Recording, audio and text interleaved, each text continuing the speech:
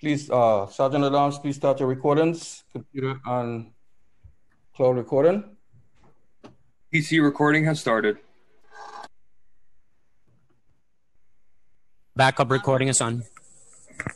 Thank you. Sergeant Biondo, you may begin with your opening statement. Good morning, all, and welcome to today's remote New York City Council hearing on the committees of Fire and Emergency Management jointly with Technology. At this time, would all panelists please turn on their video? Once again, all panelists, please turn on your videos. To minimize disruptions, we ask everyone to please place electronic devices on vibrate or silent mode. If you wish to submit testimony, you may do so at testimony at council.nyc.gov. Again, that is testimony at council.nyc.gov. Thank you for your cooperation. Chairs, we are ready to begin. Sorry if that was loud. The notes say make sure it's audible, so I did.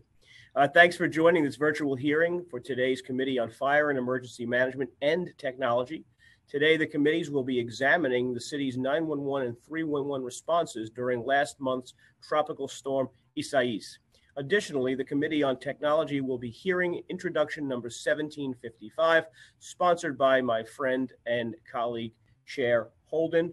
I want to point out all the council members who have so far joined, including uh, Chair uh, Holden. That would be uh, Council members Koo, Council members Maisel, Cabrera, Council member Vallone, Brannan, Yeger. And I believe that's it. Please forgive me if I've missed anyone. The council will tell me. Um,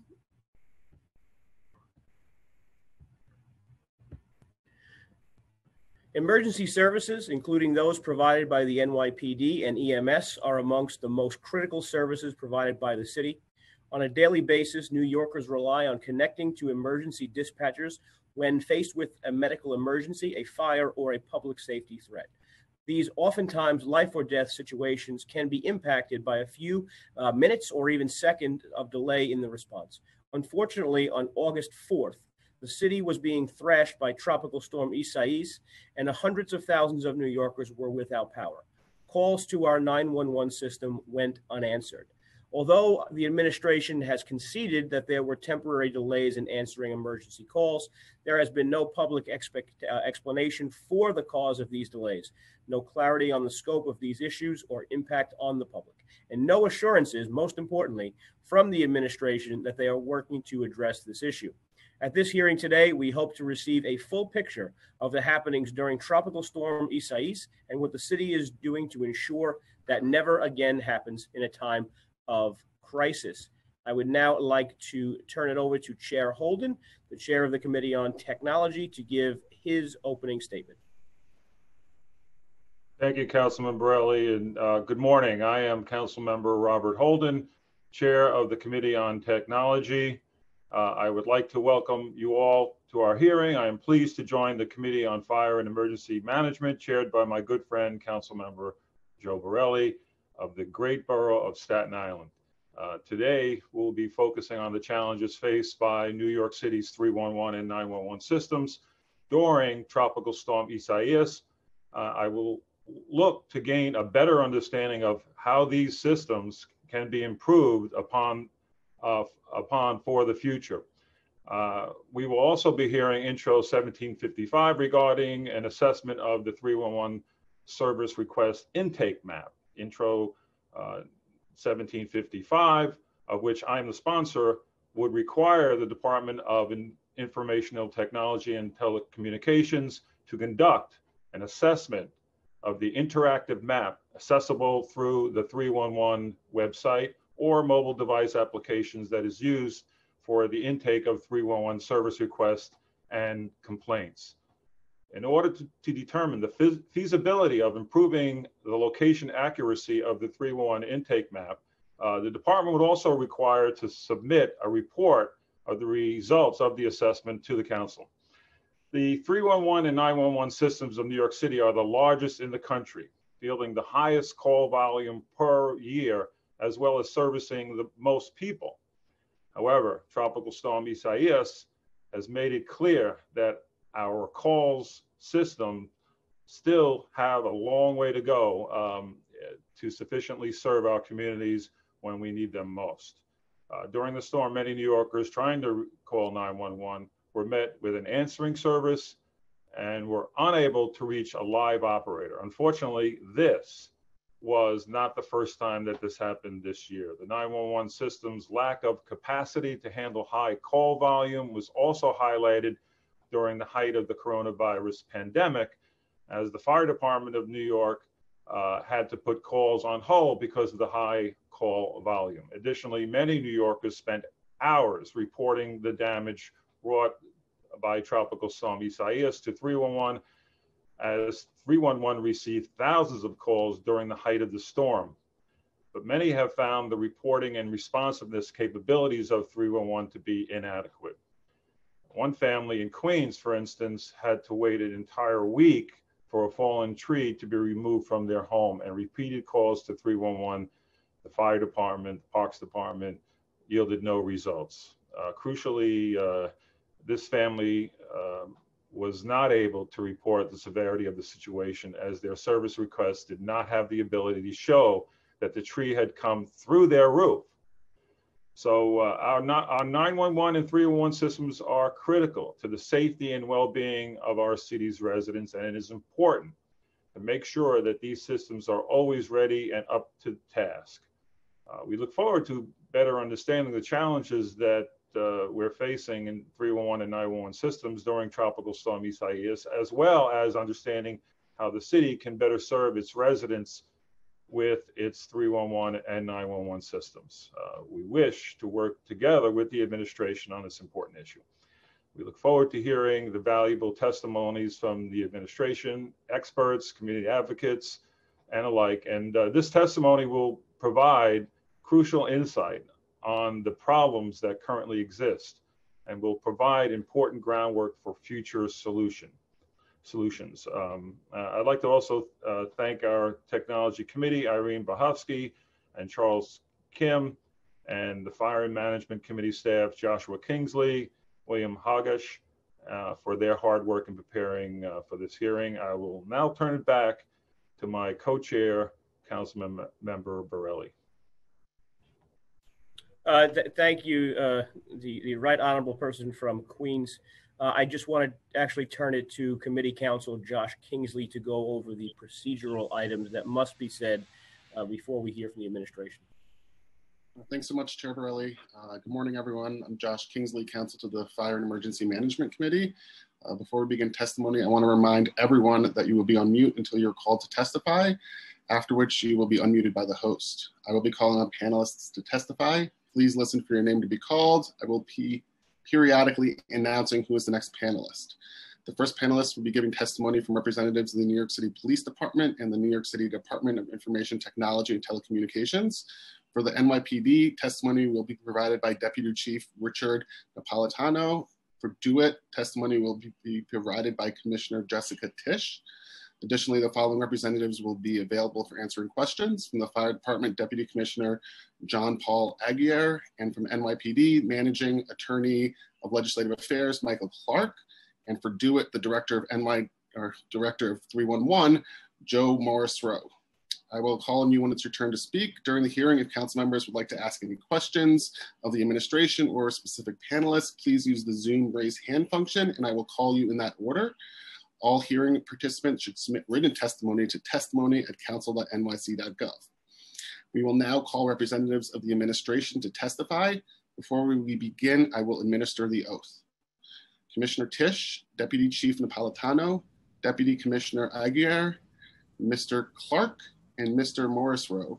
I will call on each of you individually for a response. Please raise your right hand um, and affirm the, the following uh, oath.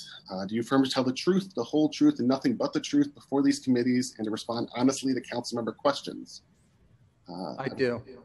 I, will begin with Commissioner, Commissioner Tisch. I do. Uh, Deputy Commissioner Napolitano.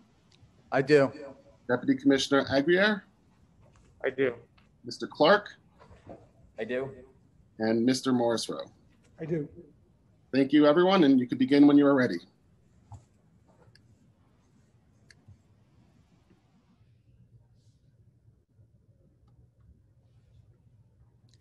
Good morning, Chairs Holden and Borelli, and members of the Committees on Technology and Fire and Emergency Management. My name is Jessica Tisch, and I am the Commissioner of the New York City Department of Information Technology and Telecommunications, DOIT, and the Citywide Chief Information Officer. As Commissioner of DOIT, I oversee the largest municipal IT organization in the country. In this role, I am responsible for many of the city's critical systems, chief among them 911 and 311. Additionally, at the height of the pandemic, Mayor de Blasio tasked me with overseeing and turning around 311 operations, which was both an honor and a privilege for two main reasons. Because 311 is an absolute gem, the connective tissue between New Yorkers and nearly every local government service, and the centralized depot for information about city programs. And because optimizing call center operations happens to be a passion of mine, which I came to somewhat late in life in my former job as deputy commissioner at the NYPD, overseeing 911 operations.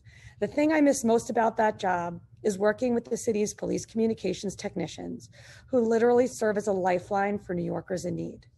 With that context, I want to thank you for the opportunity to discuss the 311 call center response to Isaias, as well as the performance from a technology perspective of the 911 system during the tropical storm. My colleagues from the NYPD will address 911 operations on the day of the storm. Let's hit the 911 system from a technology perspective first. I can say categorically that there was absolutely no outage of the 911 system during the tropical storm. The technology performed as designed with no bugs, disruptions, or errors. However, persistent problems with the carriers continue to undermine overall service in New York City, and this is exacerbated during major weather events. In particular, I expect that some New Yorkers had difficulty connecting to the 911 system because the storm knocked out power to telecom carrier infrastructure, including cell phone towers, meaning some mobile phones lost service or had degraded or unstable service, depending on location and service provider. And in the case of home phones or landlines, we heard that certain carriers' trunks got overwhelmed as a result of volume. To be clear, these issues would have affected all of the customers' calls, not just calls to 911. The telecom carriers must harden their infrastructure. Sandy should have taught them that. It's been eight years. And I am not telling you anything today that I haven't already told the leaders of each of the major carriers themselves. Finally, as Chief Napolitano will tell you in greater detail, at the height of the storm, 911 call volume was incredibly high. And in particular, for a sustained period of time, there were more calls than there were call takers to answer them simultaneously. But the 911 system was built to handle exactly this type of situation by queuing calls. When all the call takers were busy, 911 callers got queued up and connected to the next available police communications technician in order. Now let me move on to 311. I think the best way to understand the 311 response to the storm is in the context of the changes we put in place for COVID. During COVID, the role of 311 changed in an important way. Much like 911, 311 became a lifeline of sorts for New Yorkers. The number to call when you needed to be connected to a physician, a meal, assistance with unemployment, help applying for small business loans. The list goes on and on. In essence, so much more than what you traditionally think to call 311 for. So, how did we bring down wait times, which had spiked to almost an hour at the end of March based on increased volumes, to virtually zero by mid April? Well, we did it by adding hundreds of additional temporary call takers, including NYPD cadets building out several new 311 call centers to accommodate the additional staff, taking a data driven approach to optimizing call center operations, and creating express lanes for certain types of calls.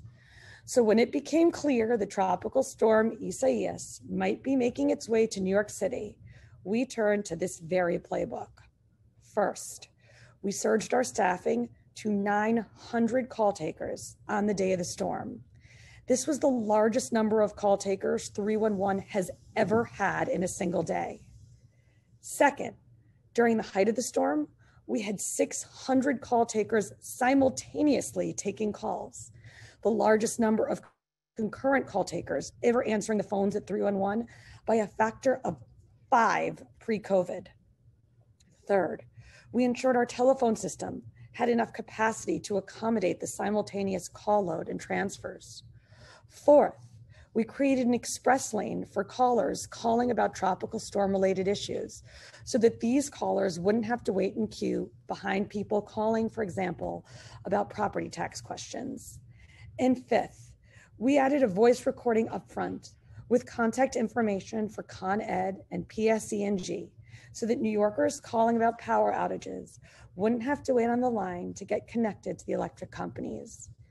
In our planning, 311 pulled out all the stops and then some to make sure the 311 call center was as prepared as it could be to meet New Yorkers' needs. And to be clear, all of these preparations were made 36 hours in advance. In the end, the volume was enormous, driven by tree and branch related service requests, as well as calls about power outages. For context, on the first Tuesday in August last year, 311 received approximately 38,000 calls. The full day total for August 4th, 2020 was a whopping 160,000 calls, and 120,000 of them had already come in by 3:30 in the afternoon when the worst of the storm began to pass. To get even more granular, 311 received approximately 45,000 calls between noon and 3:30 p.m. That's a rate of more than 12,000 calls per hour or 200 calls per minute for three and a half hours. Using wait times as an important metric, the results for August 4th were quite good, and I'd venture to say extraordinary given the volume. Callers who followed the prompts to get to the express lane for storm related calls experienced wait times that were under five minutes for the vast majority of the day, with max average wait time of seven minutes during the one hour period between 1 and 2 p.m. Importantly, storm related volume did not affect wait times for COVID related calls. New Yorkers using the standard express lane for things like food deliveries or to get connected to a primary care provider experienced de minimis wait times all day and Spanish speaking callers who followed the Spanish prompts saw no wait times at all. Callers who did not follow any of these express lane prompts saw an average 12 minute wait time at 2 p.m., which quickly dropped off to five minutes at 4 p.m. through the rest of the day. Now let's talk about two things that didn't go according to plan on the day of the storm.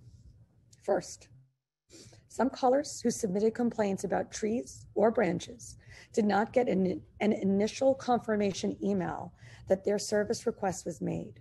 However, these requests did make it to the Parks Department, and the New Yorkers who submitted them did receive email updates on the status of their service requests.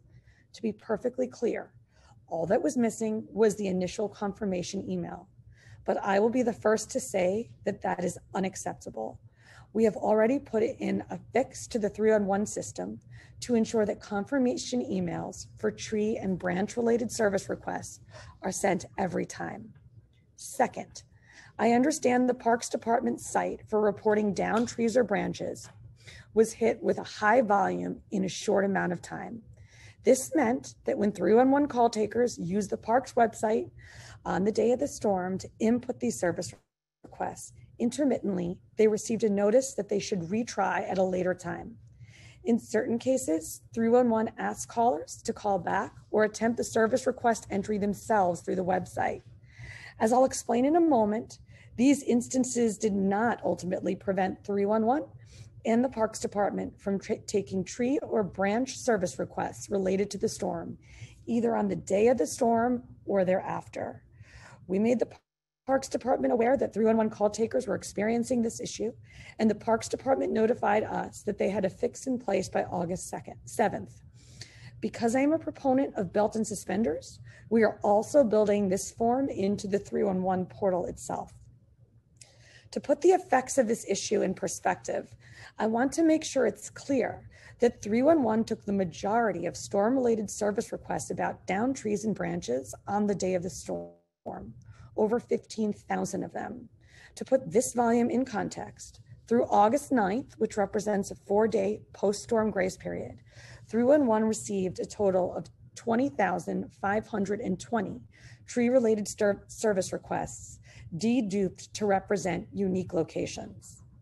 Now I'd like to take a moment to address Intro 1775. It is very clear to me that the general feedback I've received from the council highlights some of the most pressing issues associated with 311 and geolocation services, which is the subject of your legislation, is certainly chief among them. I look forward to discussing this with you and continuing to work to improve the 311 system. I hope this presentation has given you a good sense of the 911 system, uh, the 911 system's performance during Tropical Storm Isaias, and what I like to call 311 2.0, a service that doesn't just respond to New Yorkers' needs, but anticipates them, that is agile and proactive and striving to be more so every day. Thank you so much.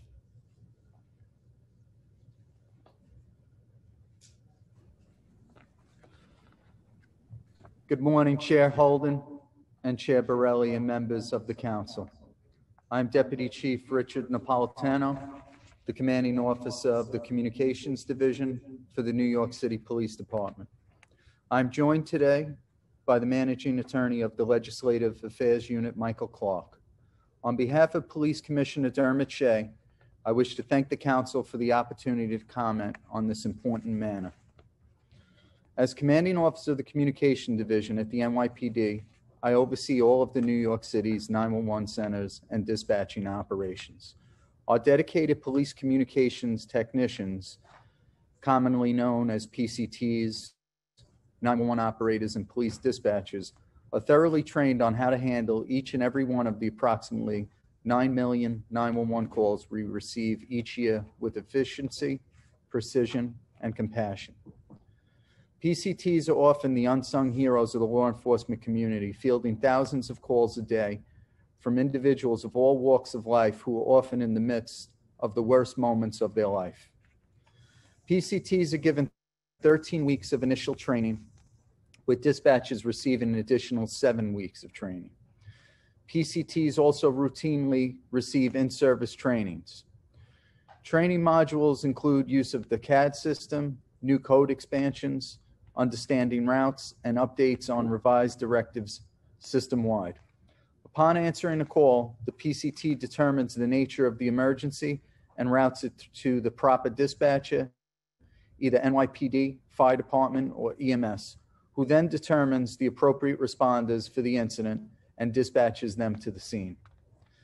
As Tropical Storm Isaias bore down on New York City, we began to make plans to ensure that our call centers were properly staffed. Our experience with the worst storm since Hurricane Sandy indicated that increasing our staffing by 33% over a typical day tour would manage an expected potential increase in call volume. On the day of the storm, I was monitoring the call volume as it progressed. At around 11:30 a.m., we noticed the 911 calls were spiking. In addition to the extra staff that we already had in place, we began taking people off other assignments to staff the stations. Between 12:30 and 1 p.m., we received 3,247 calls. By comparison, on Tuesday, August 6, 2019, we received 673 calls between 12:30 and 1. The call volume continued to increase, peaking at 4,724 between 1.30 and 2. During this time, we doubled our typical staffing, connected training stations to the system so that we had all available workstations staffed by PCTs taking phone calls. This is significant because no amount of additional staff could have reduced call intake times since every possible call intake station, including our terminals used for training new PCTs, were activated and being used to assist New Yorkers seeking emergency assistance. All told, we received over 25,000 calls between noon and 4, which is more than we received during an average 24 hour period. We received more than four times as many calls than we did on average during the same time period in the August in August of 2019. This was by far the highest call volume we have received since Hurricane Sandy hit New York City in 2012. While the 911 system did not fail during the storm, the high call volume did strain the system.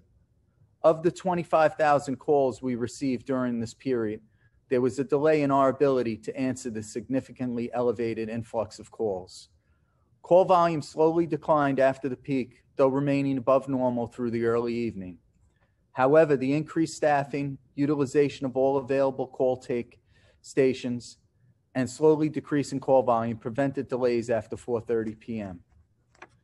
The NYPD takes the solemn duty seriously to ensure a prompt and professional response to anyone and everyone contacting our emergency call center seeking assistance. We understand that every second counts in an emergency, and therefore we do everything in our power to ensure that plans and protocols exist and are timely executed to address elevated call volume. This includes staying aware of potential heightened volume due to approaching weather events and staging our resources accordingly and quickly activating those resources as was done during this event. Thank you for the opportunity to speak to these critical issues, and we look forward to answering any questions you may have.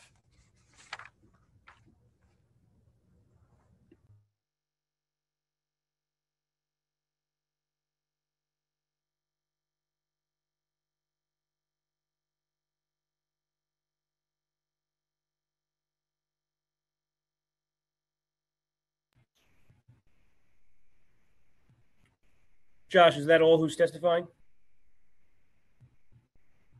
Okay. Uh, I, I, I have a question just on the outset because I, I thought I heard two different things. Um, uh, Inspector Napolitano, you had said that there were some internal delays with the system when the volume started to peak. If if what I got, by the way, your your backgrounds are great. You guys should win awards for Zoom backgrounds today. You both look fantastic.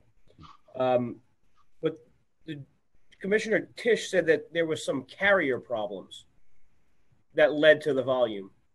Was the problems that we saw, in other words, the delays that the customers or complainants faced, was that a result of a carrier problem or was that a result of a staffing or volume on our side, on the city side of things? Maybe I heard wrong, but I just want to, that was the only thing that stood out to me.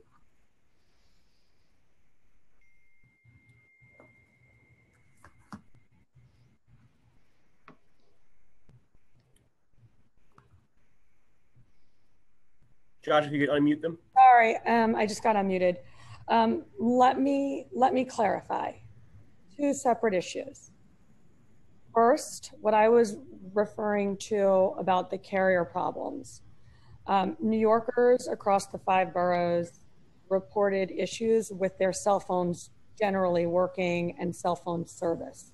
That's what I was talking about when I referenced a carrier problem. So if I was in an area where a cell phone tower lost power, my personal phone may have lost service, may have had degraded service, which would affect all of my calls. Okay. Um, including if I was calling 911. Separately, um, what Chief Napolitano was addressing before um, regarding queuing and wait times. That is, those are two distinct distinct issues. Okay. Um, can you just go over again how many call takers might be working from home, what equipment they have, who's providing that, uh, and what percentage of the total call center workforce is home at any given time? Sure. Are you referencing 311 or 911 or both? Both.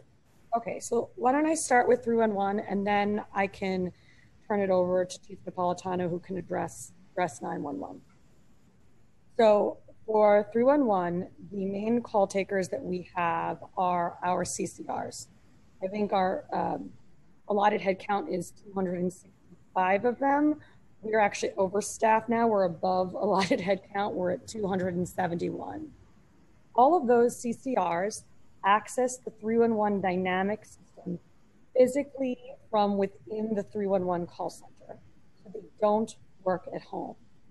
When COVID in March and really in April when I took over, um, the volume was so high, people were on hold uh, with 311 for unacceptably long amounts of time because of uh, because of the volume.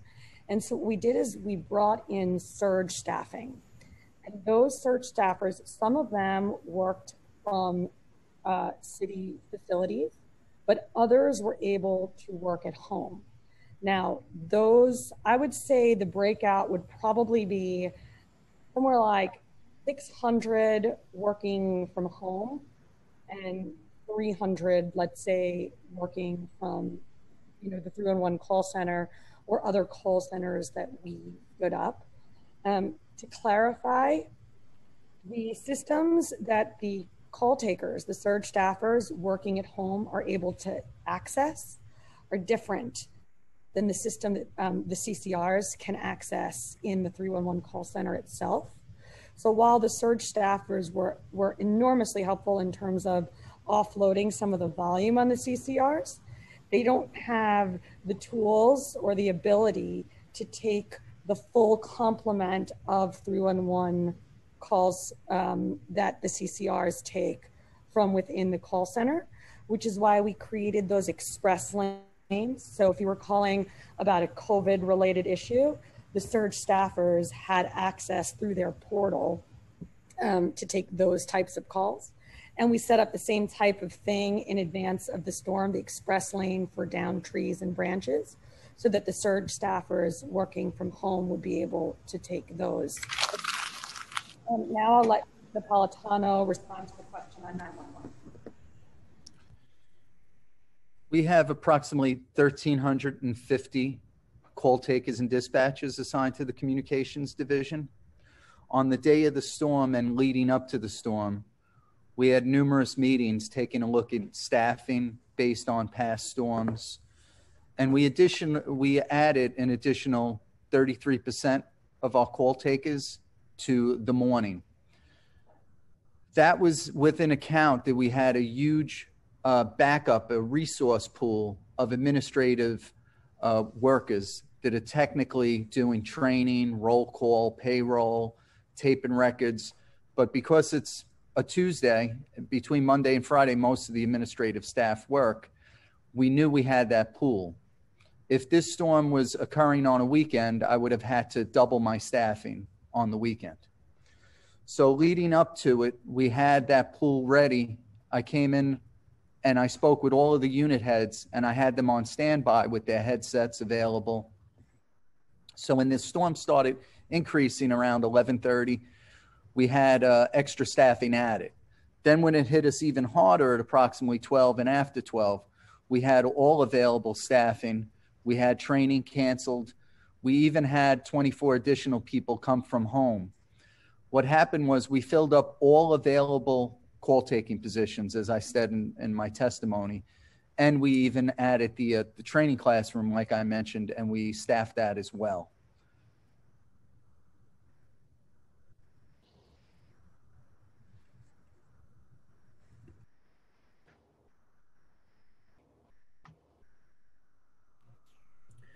Thank you. Um, just so on, on August 4th, Bill Neidhardt, the press secretary to the mayor, he, he had tweeted out that 311, and I quote, had already received 110,000 calls uh, as of 3 p.m. that day.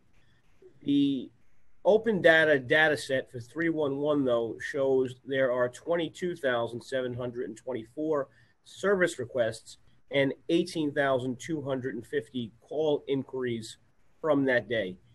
Do either of you, I, I, guess I direct this more towards Commissioner Tisch, uh, do you know how this 110,000 call number was obtained?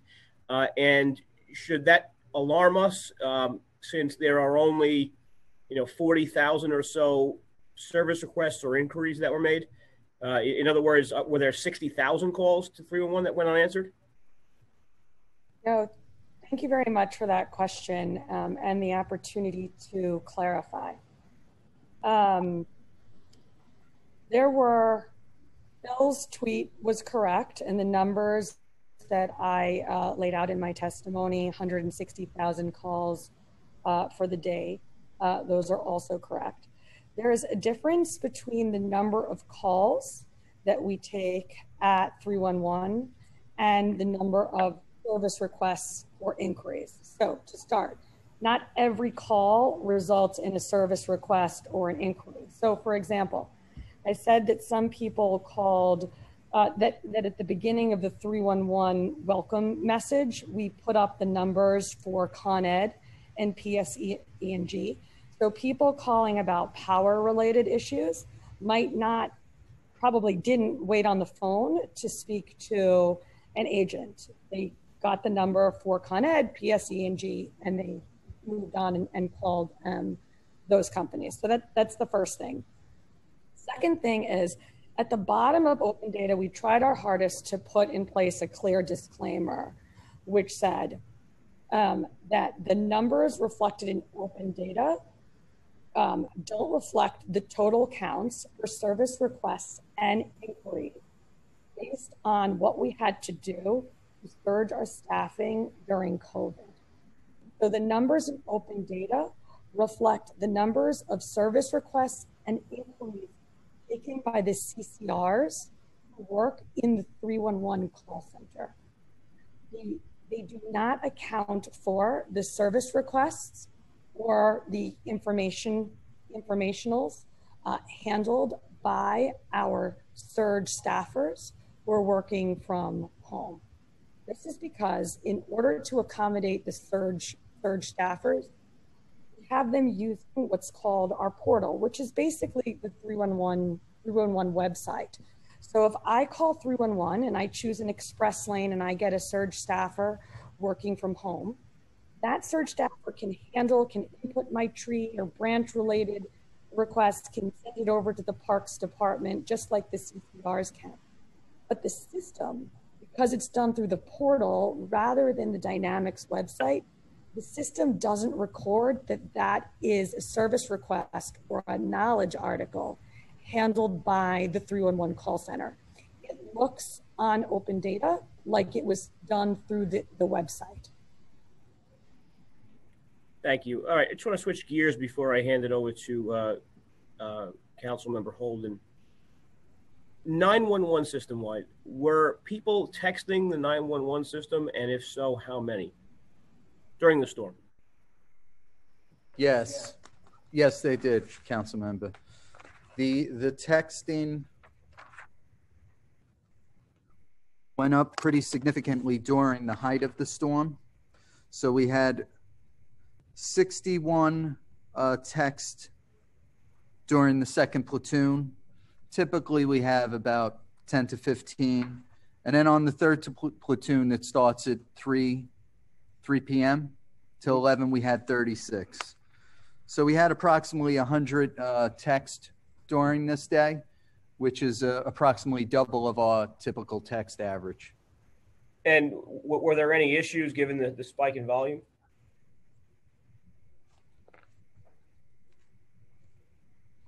Sorry, were there any issues with the text to 911 given the volume increase? There were some there were some delays at the height of the storm from around uh, one o'clock to three o'clock. We did sustain uh, delays. And uh, just We had with 24, 24 delays during that time. So people that were texting were also waiting to get through.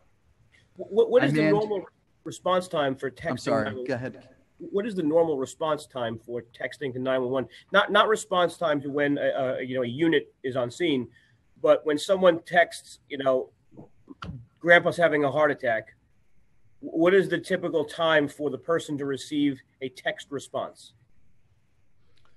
The typical, re- basically, response time where we respond back to them with some type of text is, is almost immediate, several seconds. Um, usually, text volume is very low, handling only maybe to a half hour. Like I said, at, uh, at 1.30 to 2 o'clock, we handled 17. That's approximately eight times greater than average. So usually it's immediate. As soon as uh, the text comes in, our text operators are available because like I said, it's not being used very frequently. So the, the text operator is just there waiting for, for a call to drop in.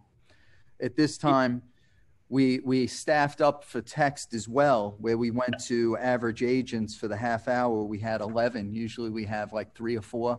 However, the uh, texts take longer to handle and it does tie up our operators. So there was delays as well. Like I said, there was actually 24 delays during that time. So, so just to clarify, there are 24 delays on text. Can you just say for the record how many delays on calls there were for 911? Yes, during during the 24 hour period, we had 7,177 delays. And a delay And what was is the any average call that time? takes over 30 seconds to have an operator uh, answer that call. And do we know what the average time uh, of the delay was? We don't have an average because the system does not uh, do the average, but we have um, the longest held.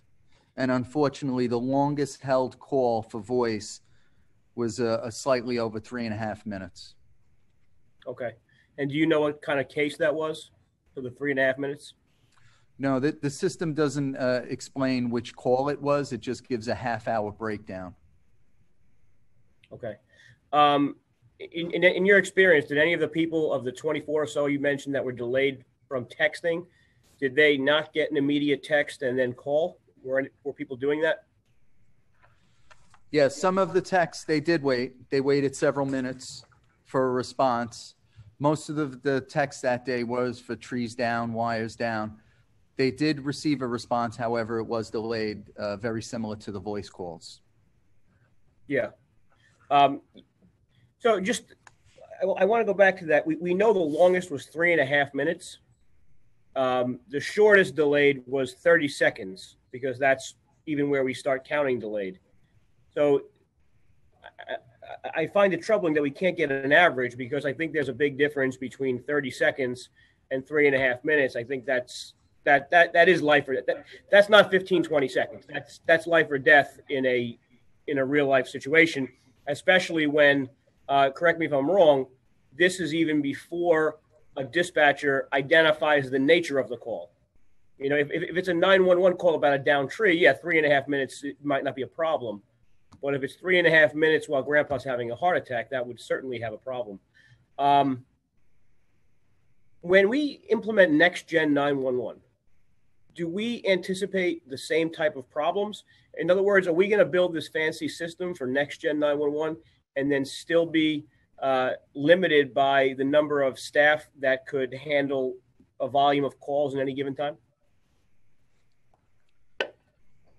We still would have similar problems as we did on the, the day of Storm Isaias. The problem is the, uh, the huge spike in, in call volume makes it difficult to handle from a, a number of positions available as well as a, a number of operators that available. And I'll, I'll just expand upon that. This was the highest call volume, I know I already said this in my testimony, since Hurricane Sandy. On Hurricane Sandy, we went over 10 times the average call volume. We have two call centers that were fully staffed and, and manned. For Hurricane Sandy, we would have needed 10 call centers and we would have needed 10 times the amount of personnel. It's very difficult to, to, to keep up with that. For hurricane, for tropical storm Isaias, we would have needed five call centers as well as five times the amount of staffing. And what I believe is needed, if, if in my opinion, what we need is um, we need to educate the public to not dial 911 unless it's a life threatening emergency. Many of these calls were trees down. Unfortunately, that, that does make somebody's day. Uh, that is an emergency to most people when a tree falls on their car, clips their car, or lands on their fence.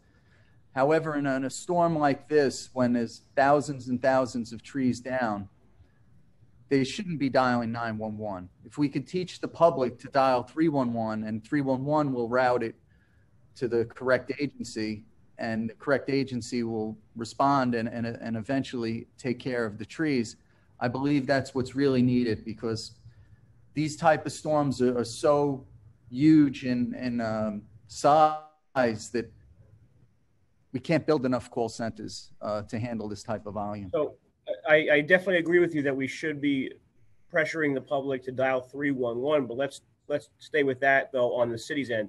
How how quick can a 911 dispatcher offload a case of down tree to 311 via an operator or digitally? We did do that, and there was a lot of uh, coordination between myself and, and Commissioner Tisch and, and DoITT and 311. And we did do that as, as quickly as possible on the day of the storm. It's, um, if I just had to, uh, maybe about 30, 35 seconds, we have to obtain the information, know that the emergency is, strictly just a down tree and that nobody's in danger. Once we obtain those facts, such as asking, you know, is anybody trapped in the car if it landed in a car? Is, is anybody in danger if it fell on wires? Are the wires sparking? Are they live wires? As soon as we're able to obtain that information, we transfer it to 311. Uh, and, And- my and- final question: Has there I'm sorry, ever been any? Yeah, has there ever been any thought, um, or uh, you know, maybe OEM, and I, I regret they're not here to answer this, but has there ever been any thought similar to the way uh, during storms we empower uh, agency managers, you know, perhaps from DOT or, or DEP or something, to manage some of the shelters? Has there ever been there ever been thought to uh, train some city workers in some sort of a, rever- a reserve corps of 911 or 311 dispatchers that could be deployed just in, in short bursts in another storm? That would be very, very difficult. I'll just do my best to explain why. The system is, is, requires 13 weeks of training. They learn codes.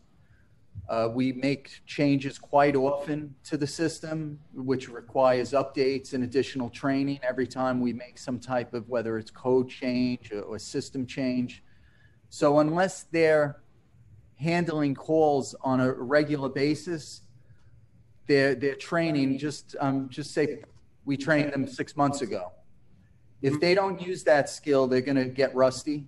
They're not going to be efficient and also the changes would make their response or, or their handling calls uh, probably not sufficient to uh, to handle an Would, emergency would there be would, would there be a value in in retaining some re- retirees um, that that could perhaps more easily adapt to to whatever changes have come across?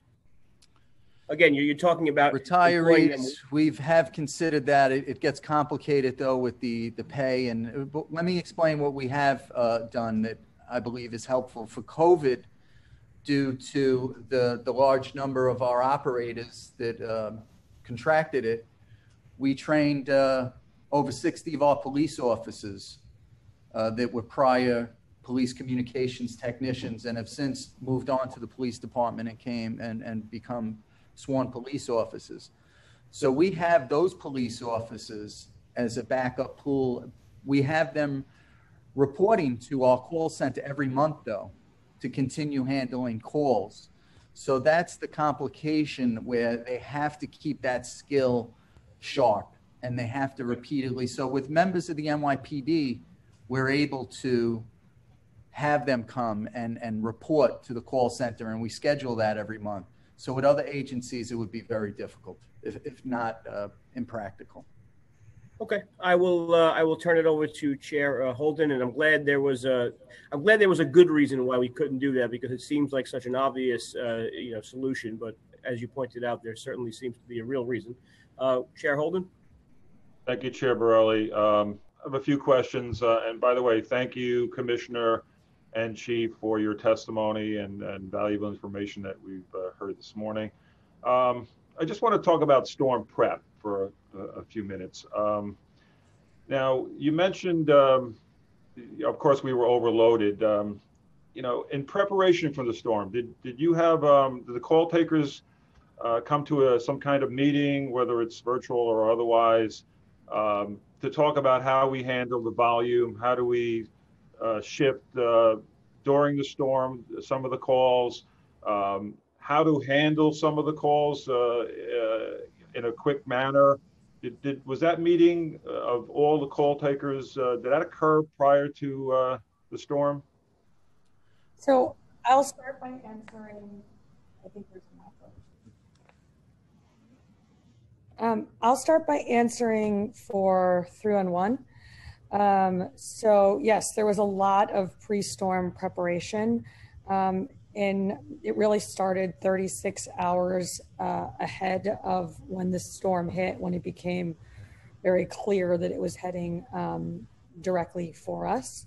Um, in terms of the training of the call takers, what we do is we put out job aids, which is something that they're used to. So anytime there's a content change happens fairly frequently at, at 311, we update our content all the time. But whenever there's an important change to processing or content, we put out job aids that um, all of the call takers review prior to coming on shift. Um, so I believe the day of the storm, there was um, a job aid about how we were going to be handling the um, 301 calls about down trees and branches. There was also additional communications to all the call takers throughout the day. Um, for example, when we were preparing to handle more volume being transferred to us from 911 after I spoke with Chief Napolitano. Um, that communication, that's an example of a real time communication that would go out to all of the call takers. Okay. Um, now, did you, uh, in preparation from the storm, did you increase utilization of automated telephone messages, possibly uh, sort of robocalls or uh, short message services or social media, uh, email alerts, uh, and the city's website to disseminate information um, and to reduce non-critical information requests? Because that we got a lot of that during, obviously, during a storm, you get everything. Um, and some of the calls shouldn't have been uh, placed to 911 and so forth or 311. But um, going forward, could we utilize more of that uh, in the system, like preparation for the storm? Um, did we do that this time, by the way? So, um, yes, I saw a number of tweets from various administration accounts um, and social media postings um, to try to get volume off of 911 and send it over to 311. Um, there was a lot of messaging around that. Certainly, once the chief and I spoke um, at around 11:30 um, that day, and it became clear that the volume on 911 was building to the point of like developing a queue. Um, and as the chief said before, I believe public messaging about when to call 911 is probably the most important thing we can do um, going forward to take some of the strain off of 911 in these major weather events.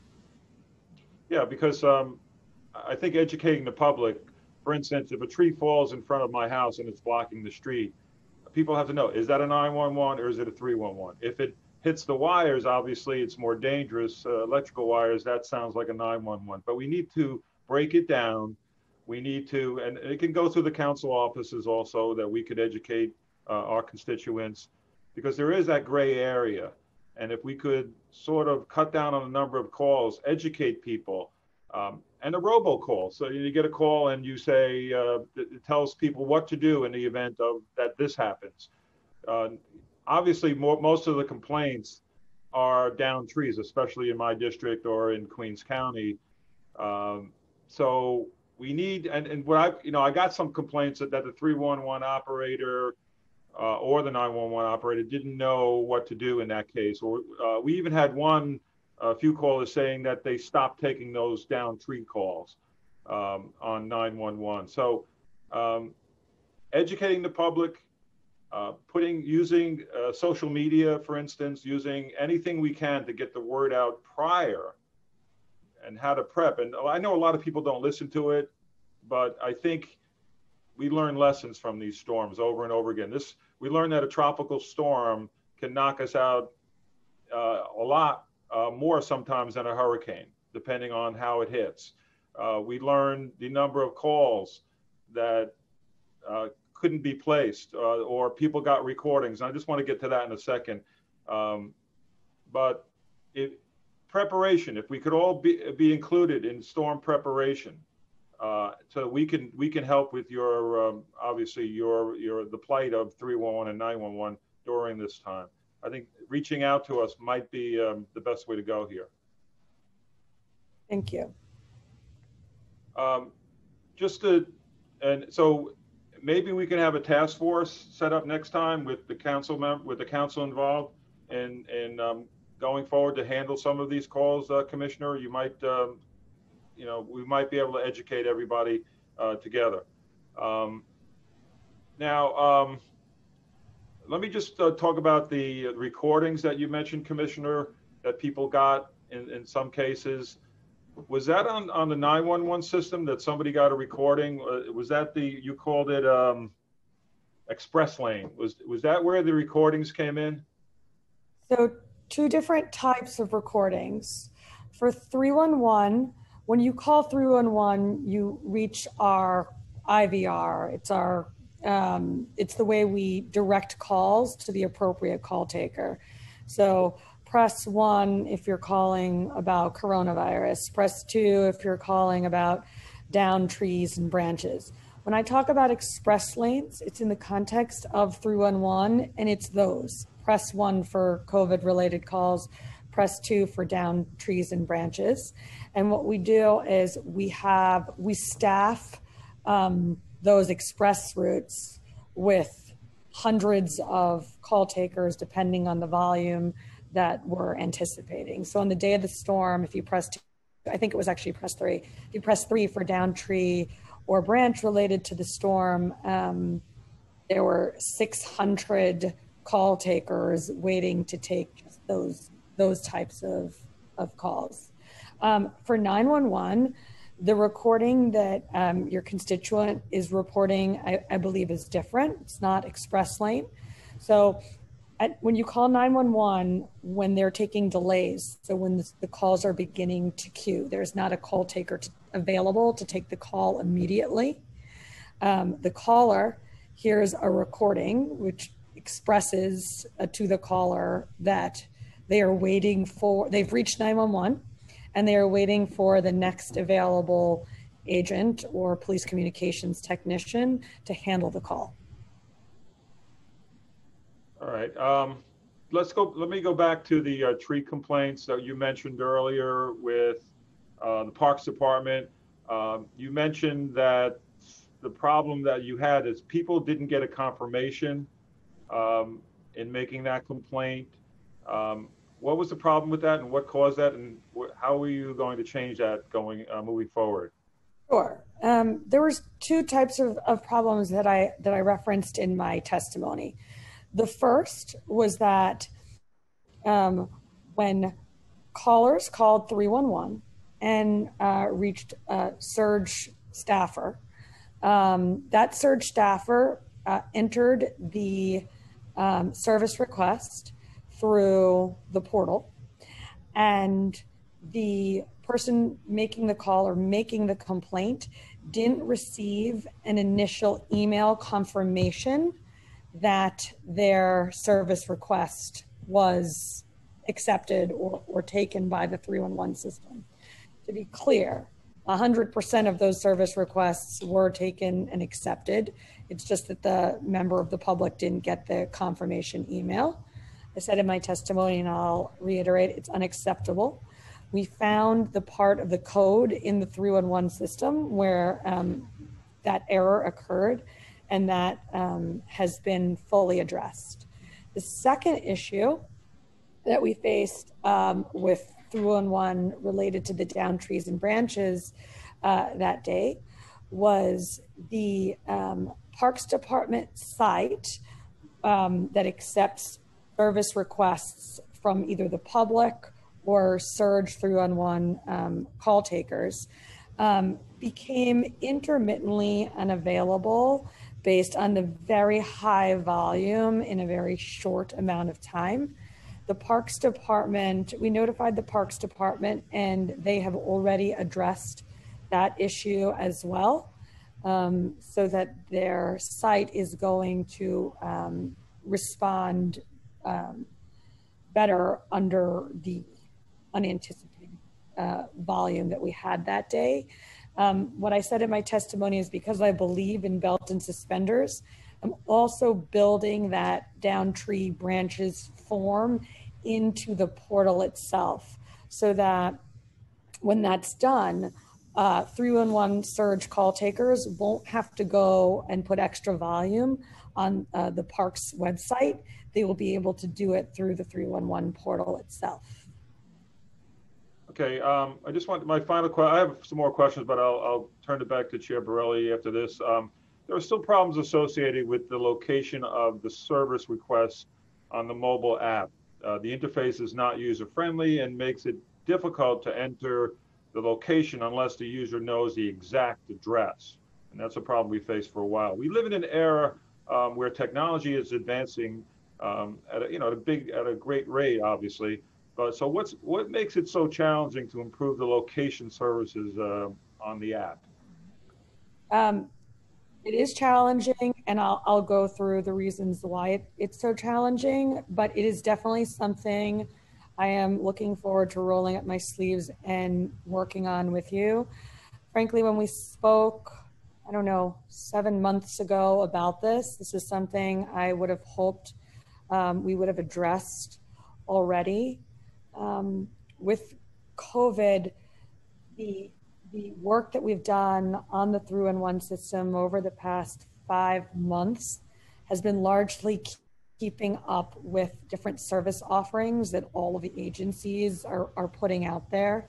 You know, 311 is the place to call for every city service. So for the past five months, we've just um, been working really hard to keep up with all of those all of those new offerings. Um, but now that that is hopefully quieting down, um, we look forward to working with you on improving location services on the app and on the website.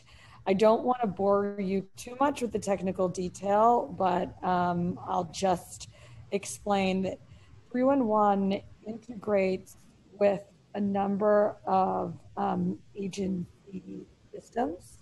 Um, 311 takes the request and sends it um, to whatever agency needs to respond. Each of those systems has their own geolocation service. Um, so what we really need to do, this is a broader than 311.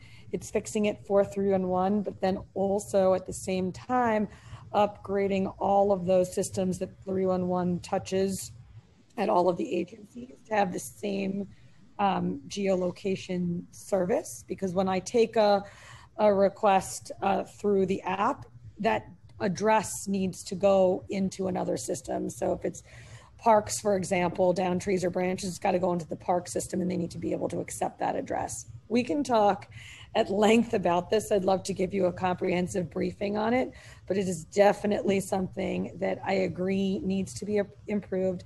It will make a dent in terms of enhancing the customer experience of 311, which is exactly what um, we're looking to do. Okay. Thank you, Commissioner. Um, back to you, uh, Chair Borelli. Thank you. Uh, and before I turn it over to Council Member Brannan, I'd like to acknowledge the presence of Council Members Koo, uh, Ulrich, and I saw Council Member Lander, who appeared to be uh, outdoors. Uh, Councilmember Brannan for questions. Thank you, chairs.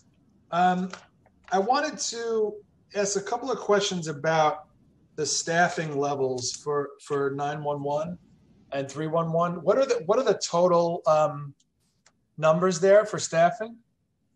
I'll start with 311 and then Chief Napolitano will take the question on 911. For 311, I believe we have an authorized kid, kid count of 265 CCRs. We overstaffed, so we're above our allocated staffing at this very moment. We're at 271. And Chief, on uh, 911? Our head count, we have approximately 1,350 911 operators. Okay. And how many calls, what's the average call per day that, that 311, that an op, if I'm an operator at 311 or an operator at 911, how many calls a day am I taking? Do you want to go, Chief?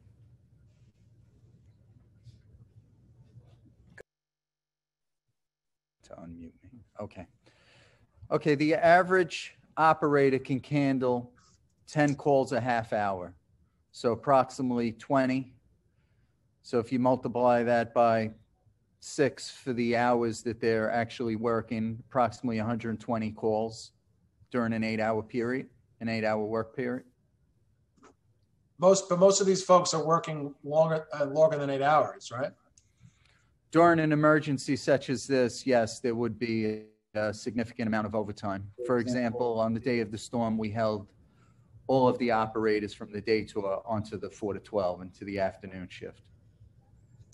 And for 311, oh, um, okay, thank you, Chief. For 311, um, our call takers are handling on a normal day now um, between 50 and 70,000 calls per day. That's um, different than the number of calls we, we take to 311 um, because many of the calls that we take can be handled by our voice recording service.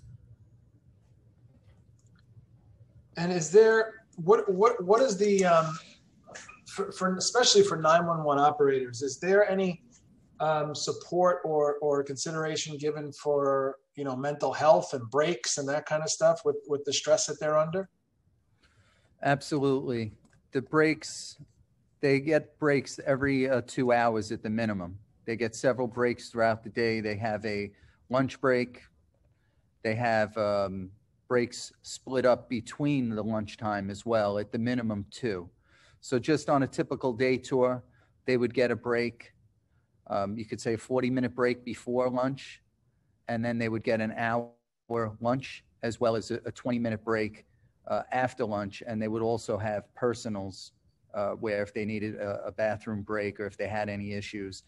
If they've handled a very difficult call, uh, we encourage them to actually uh, step away and uh, get some time to themselves. Uh, we have a quiet room in the Bronx. We also have a, um, a unit that's sole purpose is to just help them get through difficult calls and, and difficult days. Employee assistance unit. Do you think, I mean, if, if, if money was, was not, um, wa- was not a consideration, are you, are you comfortable with these staffing levels? Yes, I am. So you don't think we need, we don't, we don't need more? No. And what, what about for 311? Um, I took over 311 in the middle of April when volume was, you know, through the roof.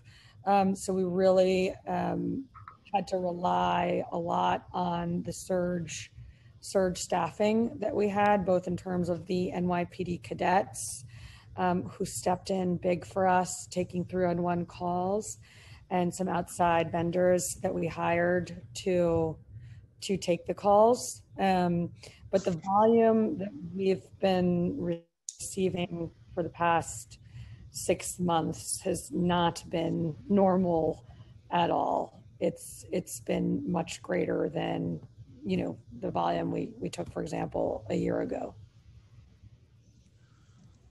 Um, so just, just to reiterate, we, what, what Chair Holden brought up about how some of the calls to 911 went to, were going to voicemail during, during the storm. Was that just, um, you know, um, I guess, pardon the pun, was that just a perfect storm? I mean, what made, what exactly made that happen? Can I? I want to just clarify. Um, no calls went to voicemail. Um, what happens is Well, it didn't, it didn't go to voicemail. No one answered.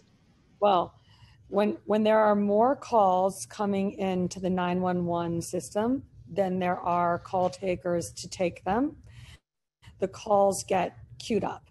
And so that's what happened at the at 911 starting around 11:30 in the morning. There were more callers than there were call takers to handle um, handle those calls. So those calls get handled by an agent in the order that they come in. And that was the first time that's ever happened? No, certainly not. Um, the chief explained that we consider delays at 911 to be anything over any wait over 30 seconds. And so that's definitely not the first time that 911 has taken delays. Chief, would you like to expand on that? Sure.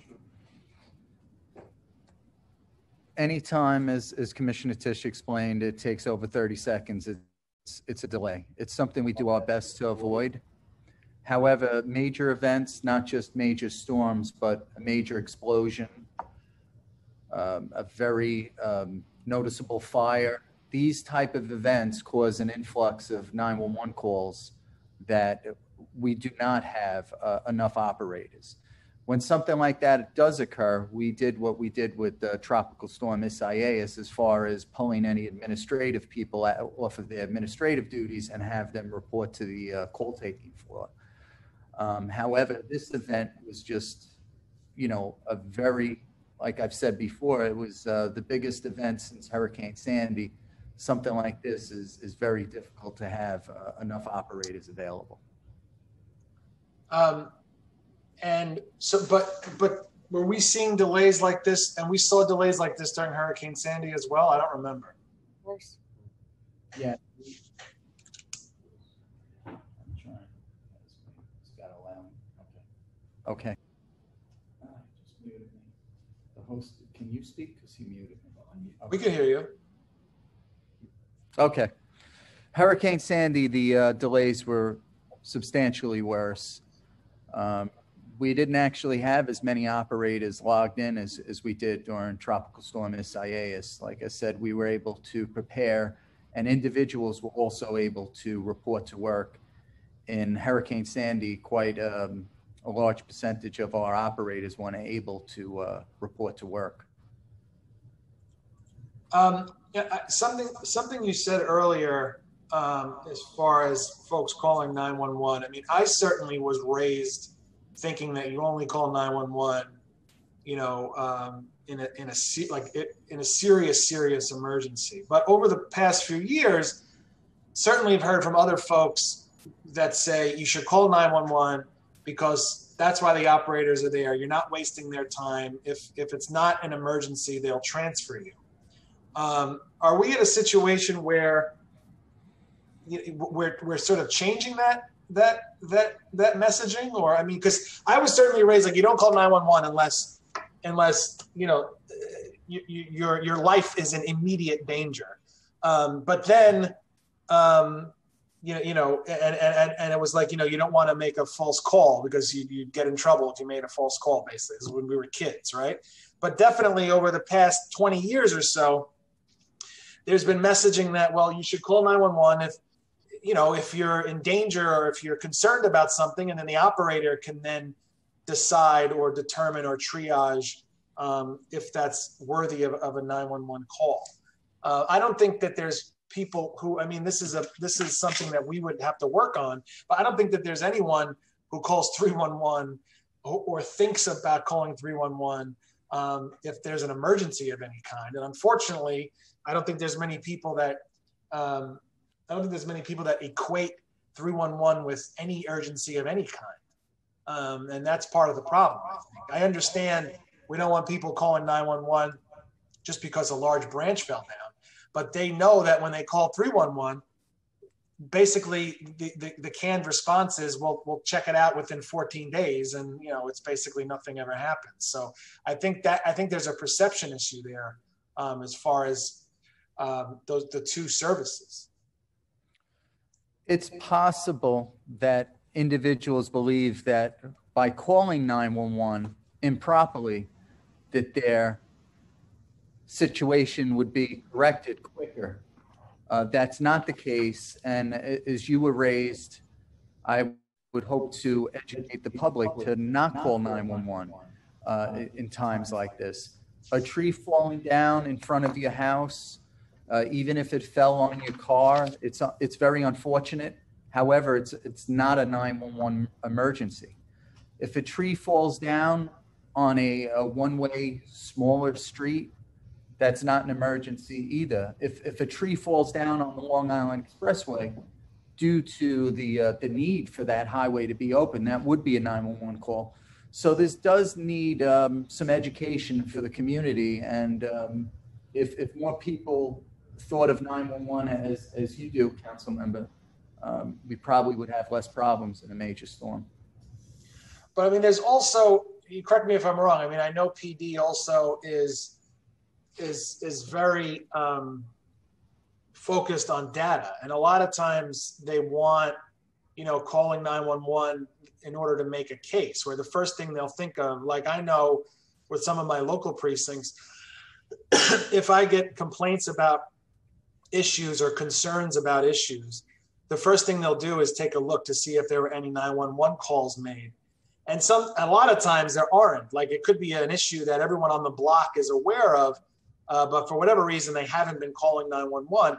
And if there are no calls logged in for that location, it's harder. It, it's harder to get them to believe that there's an issue here because they're so focused on that data. So I think that's sort of that's sort of the problem because you don't you don't want people just calling 911 for anything, um, but they don't feel any urgency of calling 311. So there's sort of a gray area there, um, and because NYPD puts such a focus on that, um, there's it's a problem because you want people to call um, to to make those complaints, but you also don't want them calling if it's not an emergency. So, and calling the old rotary phone at the police precinct is, you know, something for the 1950s. You know.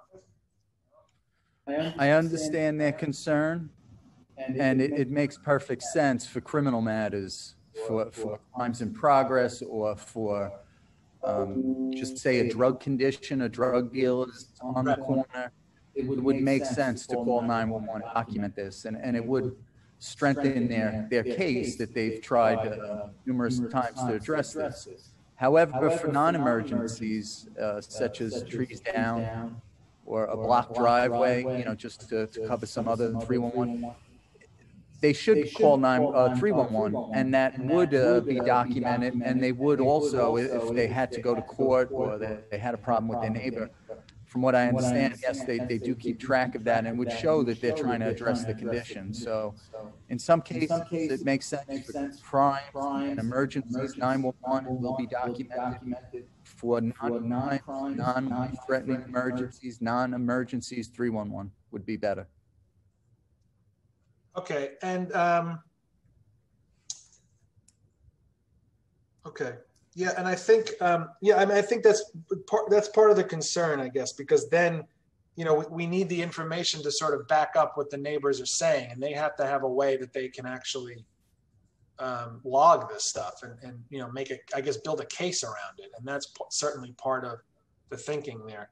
My last question i guess for as far as social media and twitter and stuff is concerned with 311 i see sometimes and sometimes it's constituents of mine who might um, tweet at me and at 311 or at any agency and then 311 will pick it up. But there's always an extra step. Is there a way that it's it's always basically okay i see the photo of the issue that needs to be addressed by 311 it's staring right at me and here's the address. But now sort of the 311 bot or whoever's managing the social media then says okay but now can you call or click on this link to fill this thing out? And it's just an extra step. Like why can't it just be that if someone is raising an issue to 311 on social media that it's picked up and, and someone's there to enter it in instead of actually asking the, the, the resident to actually then do that work. It just seems like a, a needless extra step. Hi, Council Member. Uh, Joe Rowe from 311. I'm going to field this question on behalf of uh, Commissioner Tisch. So thank you for the feedback. And uh, first off, there are 311 employees who actually do field that, uh, those, those questions through Twitter. Um, and they actually offer uh, a couple of options. Um, sometimes information is needed. Um, a picture is great, but there are some uh, coordinates that may be needed, such as an address or an intersection. And the way the model works is we can offer the, give the customer the link so then they can go ahead and submit it directly. Or we offer to DM the customer, uh, direct message the customer to be able to obtain that additional information, be it an address or maybe just another step in the description process. Um, but the goal is to try to make it as simple as possible for the customer. And as you noted, um, other agencies will uh, quote unquote loop 311 in so we can go through that mechanism uh, to produce the end result, which is a service request to the agency and a documented item for the customer. Okay. Yeah, I just want to make it as easy as possible. I mean, it's, you know, most people don't even take the time, you know, they just see an issue and they go, eh, you know, whatever, right? So, but the fact that someone's willing to actually take the time um, to, to bring it to our attention, um, you know, I want to make it as easy as possible for them to actually have it addressed. And having an extra step is just another sort of obstacle um, for a resident, you know?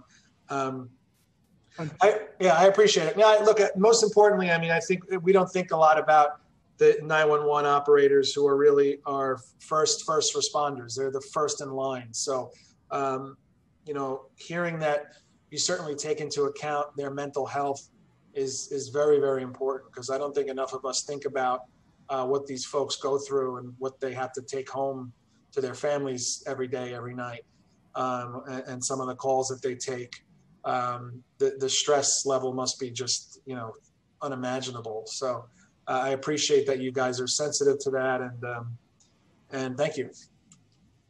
Thank you, sir.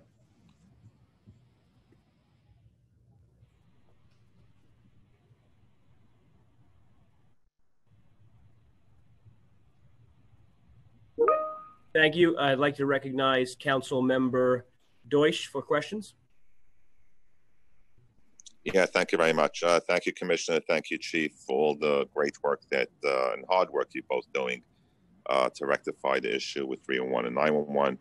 Uh, my question is uh, actually, when one calls 311 about a tree down, uh, who determines the time that the agency, the time frame that the agency must respond by? So I believe you're referring um, to our um, SLA. Yeah. Uh, and the SLAs are set by the responding agencies. So if um, you know, we all know that the NYPD was defunded. Parks the Parks Department was defunded by more than I believe eighty-five million dollars. DSS uh, was defunded by like one point one billion, and sanitation was defunded by more than hundred million dollars. So how does the backlog affect the system and user activity? Where one may continuously check the status on their complaint online or they would make repeated calls uh, on the same issue uh, by calling 311 because i have a constituent that called multiple times for like a, a tree tree branches that were uh, laying on the street um, after the storm and he continuously calls 311 because on the 311 system it keeps on checking that the case was closed and and also my second question is do you have any stats of how many repeated calls there are to 301 on one on the same specific issue. So um, I'll take the first question now, and I'm going to use it as an opportunity to plug a new feature that we actually recently put into the 311 system, um, which was um, an idea raised to me by Chair Holden. Um, several months ago, he told me that um, his constituents um, didn't get confirmation emails or updates about their 311 service requests uh, through email, that they only got those um, confirmations and updates if they had um, an account with 311. So, about two months ago, um, we uh, implemented a change to the 311 system whereby anyone who um, puts a service request in uh, through 311, whether by phone, the website, or the app. If they give us an email address, they receive um, both both confirmation emails as well as updates um, on the status of uh, their service request. Now, obviously, those updates are generated by the responding agency going into the system and updating updating the ticket, but those now are available to 100% of um, 311 customers who give us uh, an email address. And um, on your second question about repeat callers, um, I'm going to have to try to pull that data for you and follow uh, up with you on it. Um, what I can say is, in terms of general call volume or general, excuse me, general wait times at 311, they're really de minimis. I mean, we've um, added so much surge staffing. Um, the idea being make 311 really responsive or the 311 call center really responsive to New Yorkers' needs. So in a normal day now, if you call 311, you most likely won't wait on hold at all, which is something that we're really proud of and we've worked really hard to make um, the 311 service uh, more customer friendly.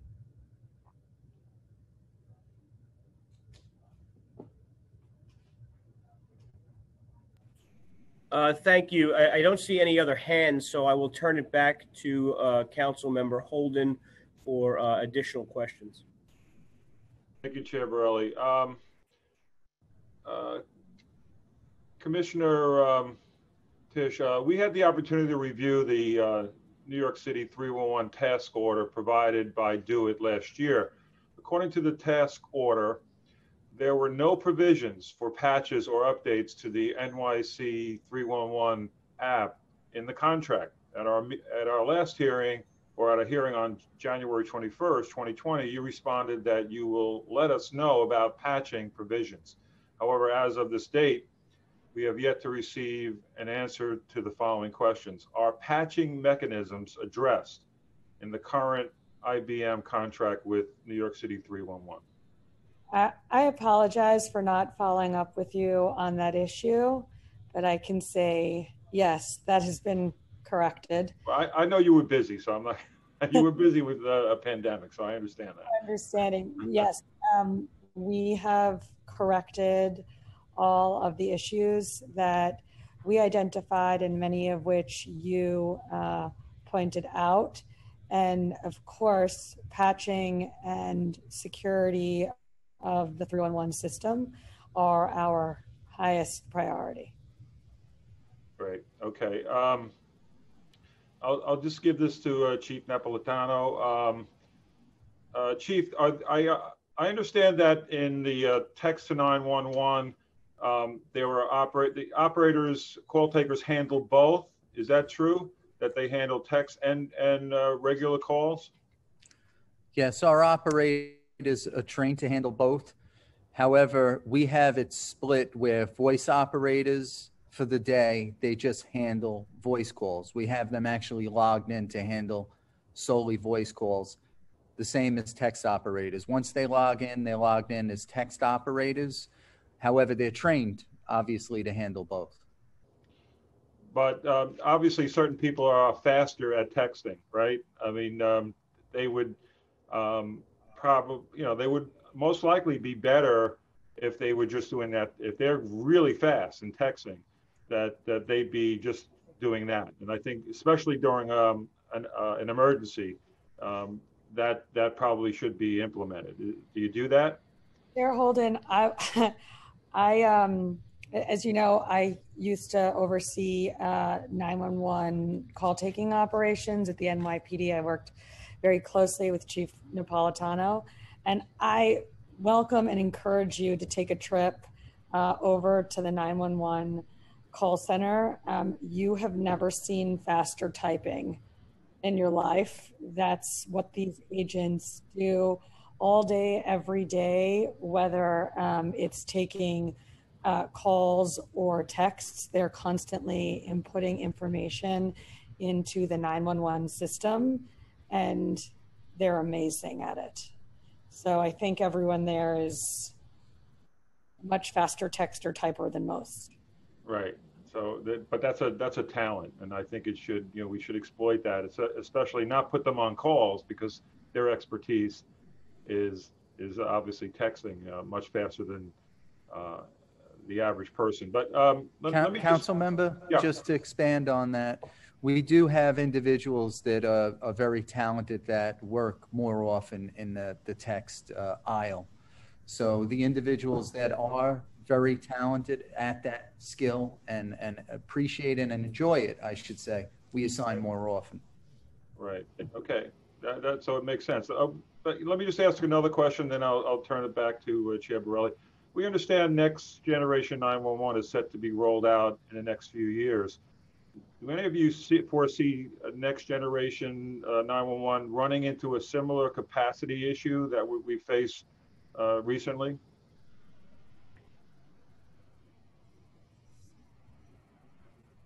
You want to take that? They Toss up. Okay, I'm back. I can see, I can see a similar situation happening. That's why I, I know I'm repeating myself, but we really need the public to understand uh, that these type of natural disasters, uh, that 911 should not be um, used for trees down, wires down. And again, you'd have to go all the way back to Sandy eight years ago, but it, it was similar where um, hopefully we, we're able to, you know, learn a lot from this and also teach the community not to dial 911. Otherwise, it could happen. And, and just one more little question about um, the upload of uh, 311 uh, pictures, application photos, and video. Do we have an update on that, Commissioner? Uh, when we might see an expansion of that? Yes, um, we ha- based on your feedback, we have added that feature for um, the vast majority of the new service request types that we've put in place. And um, based on the list that you um, gave us of the service requests that you think it would be most relevant for, the legacy service requests you think it would be most um, relevant for, we're um, planning a major 311 release that's going to include that. Uh, don't want to bore you, but just want to mention on complexity, um, which is my problem to solve, but just so you understand. Um, adding it to the 311 system is easy, right? I could basically flip a button and add pictures to every service request type. The issue falls in terms of getting it to the agencies themselves. Not all agencies use the 311 system. The NYPD does, for example, so it's really easy to get them pictures. But other agencies that don't use the 311 dynamic system, but that take uh, the data from the 311 dynamic system and uh, bring it into an in-house system, those systems need to be able to accept pictures as well. It's not useful to the member of public of the public if 311 can get the picture. They really need the agency that's actioning the service request to get the picture too. So that's what we're rolling up our sleeves and working on right now. So we, we still have the problem of the agency cooperating and actually looking at the photos because we've had that in the past. So uh, characterize it as a problem of them cooperating. Um, It's something that we are working with them on. And I think, you know, in this day and age, that everyone understands the importance and usefulness of pictures. So it's something that, as the person who's overseeing 311 now, that I am uh, eager to work with other city agencies to, to roll out at your suggestion. thank you. Thank you, Commissioner. Thanks, Chair Borelli. Uh, thank you, and I'd like to recognize Council Member Lander for questions.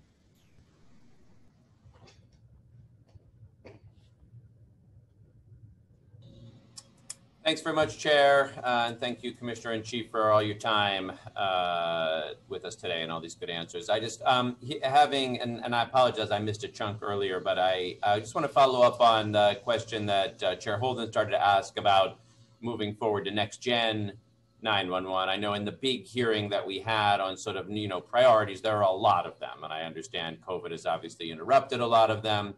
I think it's great that the text to 911 came online even amidst COVID. So props to you for getting that that done. Would have been easy to miss that. Um, you testified in that last hearing about some of the both benefits and then you know the long-term nature of moving beyond that to next gen 911 and I, I just love a little status update i could see that being a thing of like there is so much work to do uh, given all the other things you've outlined in this hearing that honestly that is just going to wait until like the next mayoral administration or no that's really underway in the back rooms and there's a lot going on to get there um, and I just wonder if you could give us uh, an update of, of where those things of where those things are. Thank you for that question. Um, you know, during uh, March, April, May, June, July, we were really uh, slammed as the IT agency. It seemed like every agency in the city wanted to bring on a, new service online, and we had really important work um, to help agencies do that. Um, and um, we were we were very busy as you as you can imagine but it was really important to me not to let um, the general work of the agency slip too much or frankly slip it slip it all on, on the really important programs. Um, so as you mentioned uh, we continued forward with our plan to release text to 911 on time in june. Um, same thing went for next gen i had committed to the uh, council um, on my last next gen on my last next gen update that we would be registering all of the next gen contracts by June this year, and that was done. Um, we decommissioned NYCWiN. So again, despite the huge influx of work, we didn't um, stop plowing forward on the major uh, programs that um, DoITT has been working on and the commitments that we've made. Certainly, certain things have slipped, and, and that has to happen, but the big ones are plowing forward.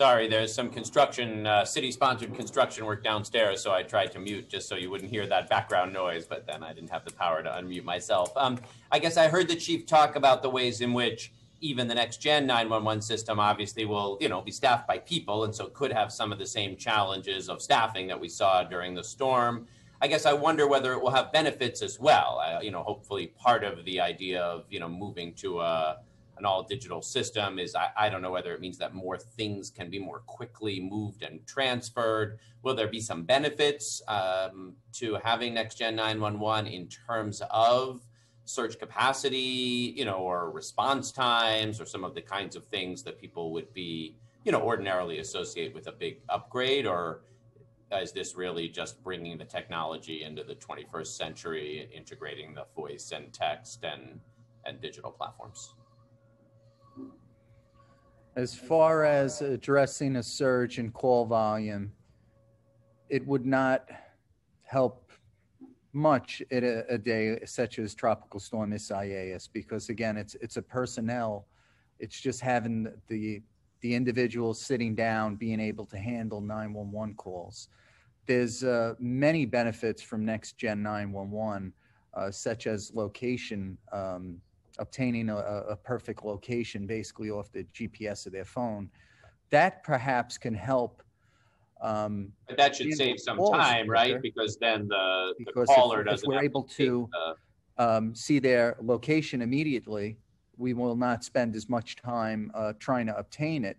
So, in, in, a way, it can possibly help a search. Okay. Uh, thank you very much. Uh, appreciate your work. Appreciate this hearing. Thank you. And I see no uh, one else has raised their hands for questions. So with that, we will dismiss uh, this panel. And I want to thank uh, both of you and the other uh, folks out there very much for this. Um, Josh uh, has told me, our counsel has told me there are two people signed up to testify. So Josh, will you ask them to identify themselves and sort that out? Thank you, Chair. Um, Thanks, everyone. We're now turning to public testimony. I'd like to remind everyone that unlike in our typical council hearing, we will be calling on individuals one by one to testify. Council members who have questions for particular panelists should use the raise hand function in Zoom, and I will call on you after the panelist has completed their testimony. For panelists, once your name is called, a member of our staff will unmute you and you may begin delivering testimony. So as Councilmember Borelli mentioned, we have two individuals who have signed up to testify. Um, they are currently, uh, they should be unmuted. And um, if you are, there's a caller one and a caller two who have not provided us with a specific phone number. So if you could identify yourself um, and then feel free to begin discussing, uh, I guess caller one to start.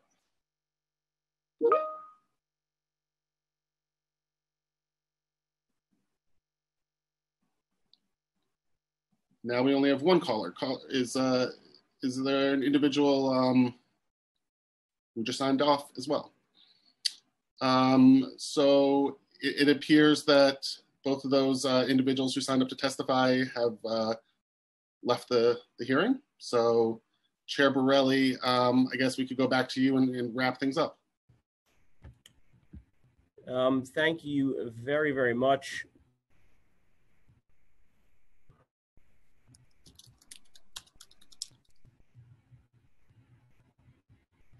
Uh, Councilmember Holden, do you have any closing remarks? No, I want to uh, I want to thank both the commissioner and the chief. Uh, by the way, the chief and I go way back uh, when he was the captain uh, XO in the precinct, our local precinct. It's nice to see him, um, and uh, you're looking well. And I want to thank you both for your testimony. And I'm looking forward to that tour, Commissioner.